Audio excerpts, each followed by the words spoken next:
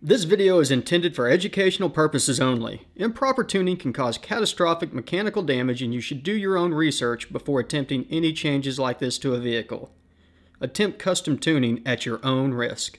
Hey everybody, welcome back to the garage and today we are going to be doing something that a lot of you have been waiting to do or waiting for us to do for a little while and that is dive into Gen 3 specific mass airflow tuning or uh, MAF scaling as it were.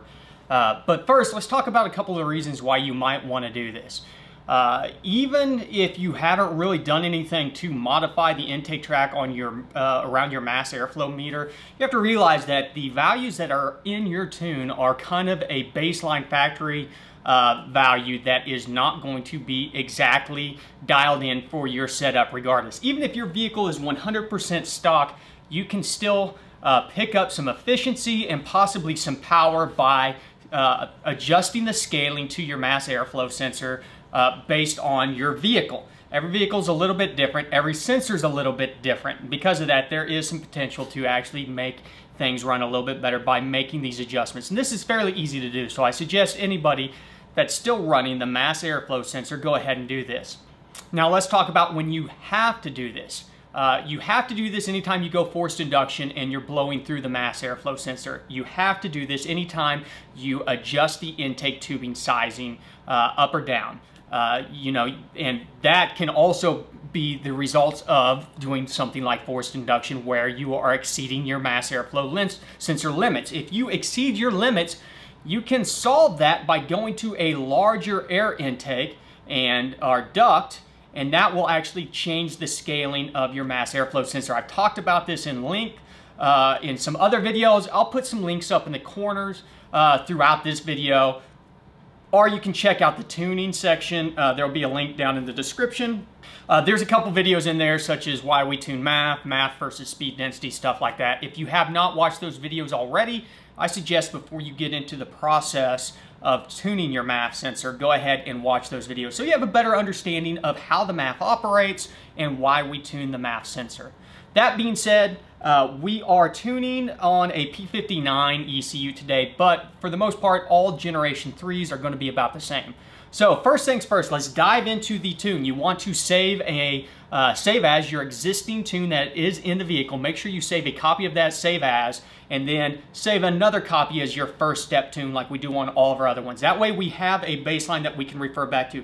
Really makes it easy whenever we need to go back and change uh, some of these back to what they were beforehand. Specifically, whenever we do mass airflow tuning, we have to make sure that the mass airflow sensor is the only thing that's controlling uh, fueling throughout the whole range. And so there's a couple things that we change in here. And, you know, so we'll also disable like the O2 sensors. We won't, so we can't go into closed loop, so we don't have any of those things skewing off everything. So that being said, let's dive into, we'll look into uh, some of the things that we need to change on here. And basically everything's gonna be underneath airflow and fuel for this. So underneath the engine button, underneath the airflow, let's look at general, see if there's anything we need to adjust on here. We're not worried about VE. Dynamic is where we have mass airflow and um, uh, volumetric efficiency working together. We want to make sure that we disable dynamic airflow. And by doing that, uh, to do that, we want to go ahead and drop this high RPM disable way down. So it says above this, use filtered air MAF uh, filtered MAF air mass for the air mass prediction calculations. So by lowering this below our idle set point, this will always be using our mass airflow sensor for those calculations. So we can set this thing to like 100 RPMs and we're good to go there. Okay, now moving over to the fuel tab, some of the things that we're gonna wanna change here is one is on the oxygen sensors, we want to disable the long-term fuel trims. On the uh, Gen 3s, the easiest way to do that is to adjust the engine coolant temp set points, and it says below this uh, set point, LF, LTFT is disabled, so let's max this out. I am going to go 284. You never want these things to be the same uh, especially on the Gen 3s, it can cause some wonkiness. You never want to use the max value on any of these also. So if it's 285 is your max value, I always like to go at least one below that. And then if you have something like this that's already set to 285, I like to go one below that in addition. So by doing 284, we will say that below this temperature, we will not have the LTFTs working. Uh, we can also go into this closed loop enable. We don't want to enable closed loop. We want to stay in open loop, which keeps the O2 sensors out.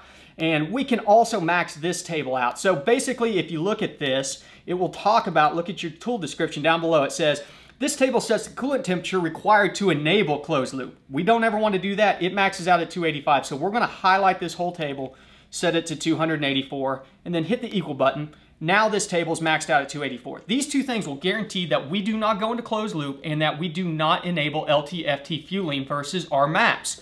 And that is LTFT, if you've already been driving this vehicle, which you have, I mean, let's be honest, you're not going to do this from the showroom floor.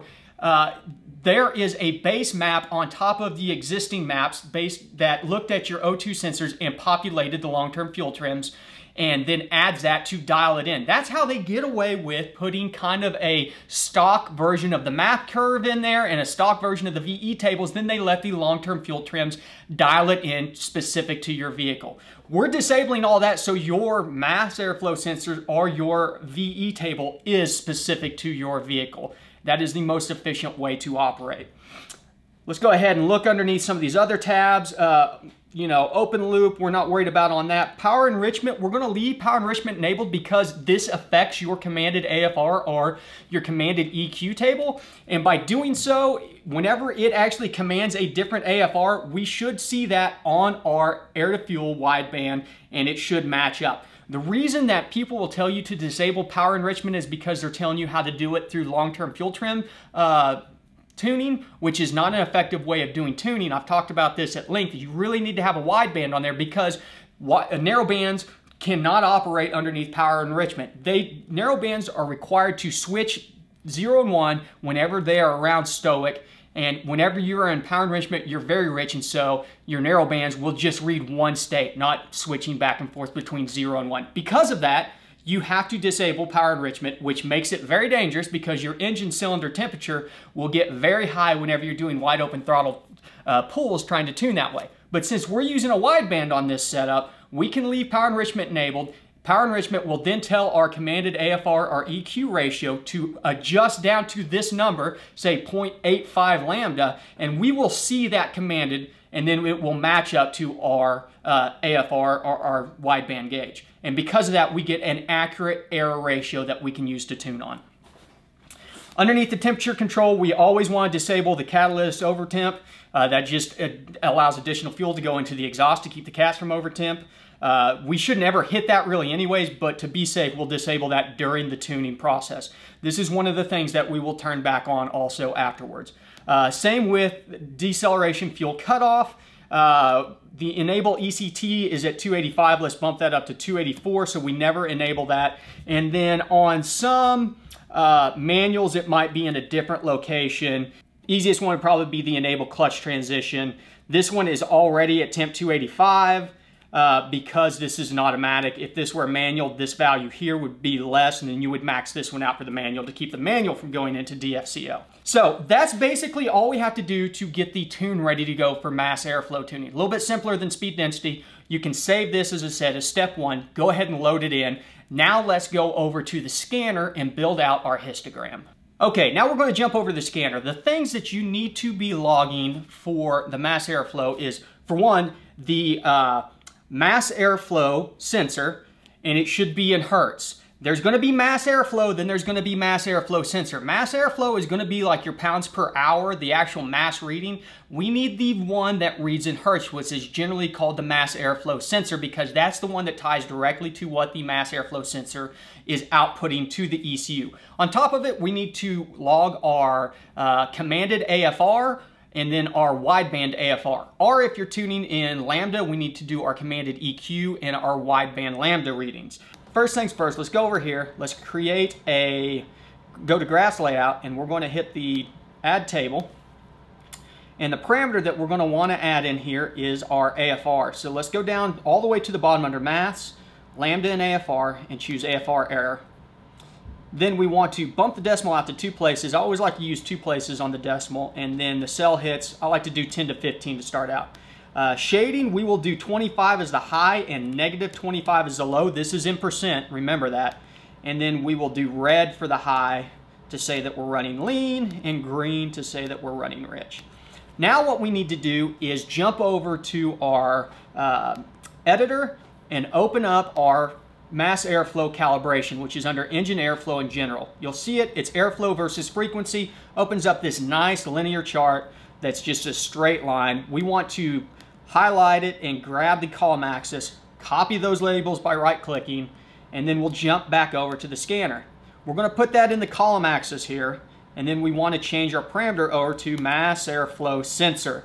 This is the one that I was talking about that shows it's this mass flow rate. We're looking for this one down here that's in frequency. That way it lines up. It'll still say, hey, this is the generic sensor. We're fine using that one. And that's it. There is no row axis on these. So we can go ahead and pop out to that and look at it. And if we start scrubbing through some of this data, you can see this is what it looks like. And so, oh, we go out, we do this big long, you know, uh, log, we get all these data. What we then want to do is whenever we're done, come in here, and just like everything else, we're going to copy this whole thing, jump back over to our table, highlight our table, and then we are going to do paste special, multiply by half. But watch the graph down below.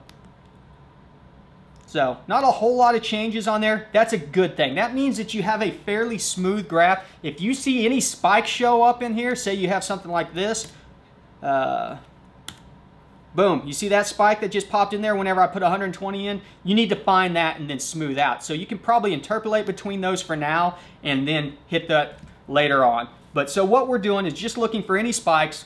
Uh, do this two or three times to kind of get everything set up and dialed back in. Whenever you're done with that, that's whenever you want to come back in, uh, open up your original one as a compare file. I can't do it right now because I can't save this. I don't have a, uh, you know, I can't uh, save one that's not my own tune file. But you open up your compare file. That allows you to come back in and see where these values used to be. So you can re-enable dynamic airflow. You can come back in here and uh, re-enable closed loop. Same ordeal with your temperature control and cut off DFCO. So all those steps that you did uh, to force it over into mass airflow, you can now go back and fix that. So that's basically it. Pretty straightforward. As I said, this is just like doing speed density. We're just disabling speed density as opposed to disabling the MAF. It's a little bit simpler, and this is a lot quicker to get dialed in. You can get the uh, the MAF running, honestly, in probably about two or three uh, decent runs, decent logs, and you can actually leave speed density locked out of this thing and run just off of MAF on a lot of these things, and it'll run perfectly fine, especially on normally aspirated vehicles. The mass airflow sensor is great. Uh, forced induction can start causing issues, and big cams will also start causing issues. So, uh, but other than that, if you have any questions, make sure and hit the comments up down below. If you haven't subscribed already, why haven't you subscribed? Hit that button already. There's a lot more coming out. We'll dive into more specific generational videos to help you guys get on the right track for doing your tuning. Uh, questions, comments, you know where to put them. Throw a thumbs up if you found this helpful. If you didn't find it helpful, throw a thumbs down. But if you do that, do me a favor, post in the comments below why you didn't find it helpful. That way I can provide better content for you guys. Uh, if you haven't checked out the Patreon, there will be a link down below. I appreciate everybody's support that's already signed up. Uh, you know, you guys are helping me out to make sure I can provide you this great content. And uh, I want to thank all the new subscribers, man. You guys are the best. And I'm, I appreciate you guys tuning in and watching these videos. And as always, thanks for stopping by the garage.